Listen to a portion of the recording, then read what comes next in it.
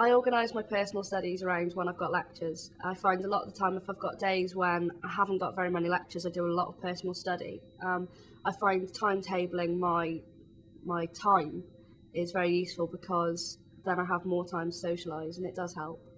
I find studying in my room is quite useful, but the library is a very good place to go because I mean it's quiet, you've got all the computers there. You've also got the books to hand as well, so you don't have to keep getting books out of the library.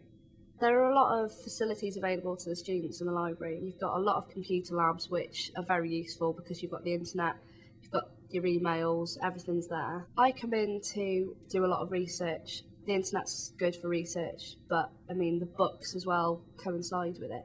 A lot of my personal tutors have been very useful. Um, they have like surgery hours when you can pop in any time between those hours. Um, when you've got a problem with research or your essays, if you're finding your essays difficult, they can help you with an essay plan. Um, and they also do a lot of, you can just go and talk to them and monitor your progress, which I find very helpful.